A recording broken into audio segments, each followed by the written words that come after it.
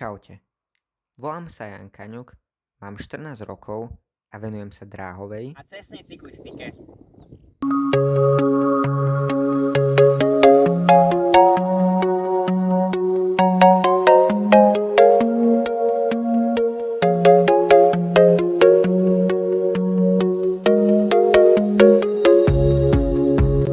Cyklistike sa venujem od svojich 12 rokov.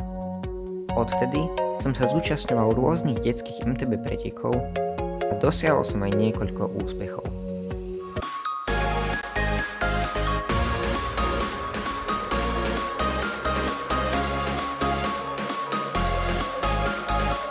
V roku 2024 som sa začal zúčastňovať pretekov slovenského pohára v cestnej a dráhovej cyklistike.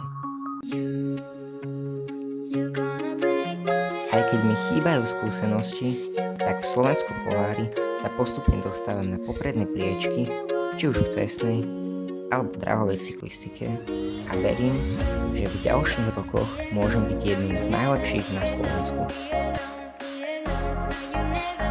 Mojím snom je robiť tento šport profesionálne a aj preto robím všetko, aby sa mi tento sen splnil.